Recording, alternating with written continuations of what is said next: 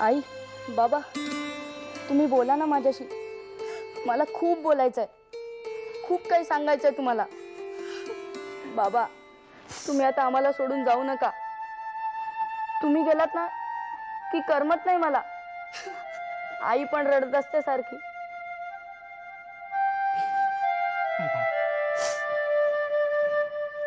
आता मी तुम्हाला कुठेही जाणार नाहीये प्रिया क्षिप्राची खोली। मी तुझ्या नावावर करतोय। तू मला भेटलीस आणि क्षिप्रा माझी मुलगीच मला परत मिळाली.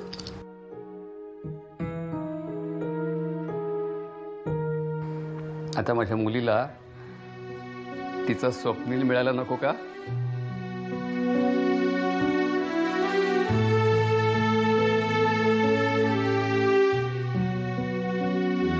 बाबा आई। काय झालं ग? एक एक स्वप्न पडलं.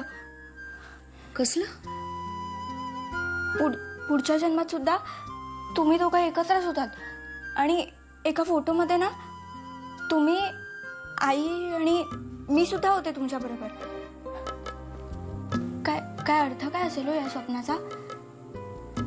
बाळा. ए मी मी मी सांगते हा. पिऊ बाळा या स्वप्नाचा अर्थ इतकाच आहे की या आणि पुढच्या प्रत्येक जन्मात तू आमच्या बरोबर असणारस बरोबर?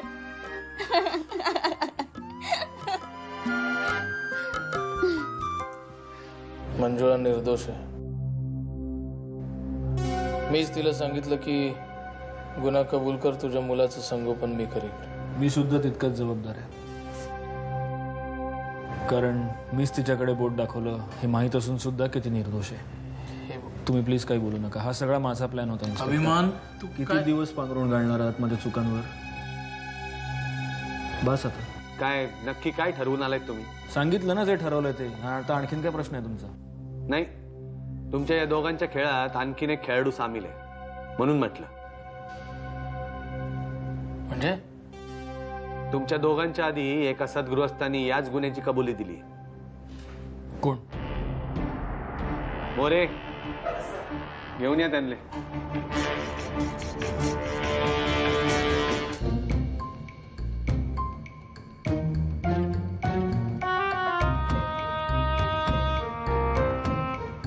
तू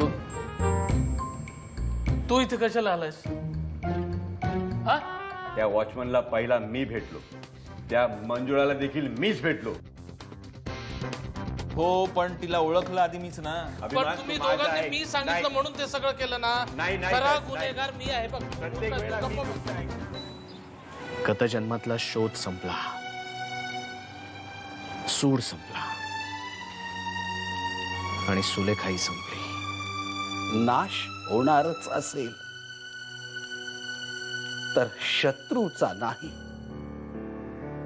त्याच्या मनातल्या शत्रुत्वाच्या भावनेचा नाश होऊ दे. शत्रू संपला आदिनाथ पण शत्रुत्व खरंच शत्रुत्व संपलं असेल?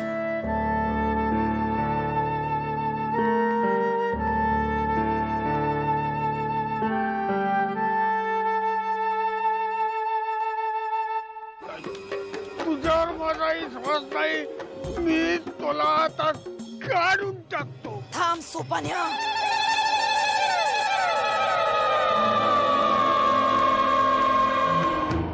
सुलेखा मेली पर इच्छा कधी मरत नाही सोपान्या. ती चितीच राहते. सोपान्या नव्या रूपात पुन्हा चलम घेणार ही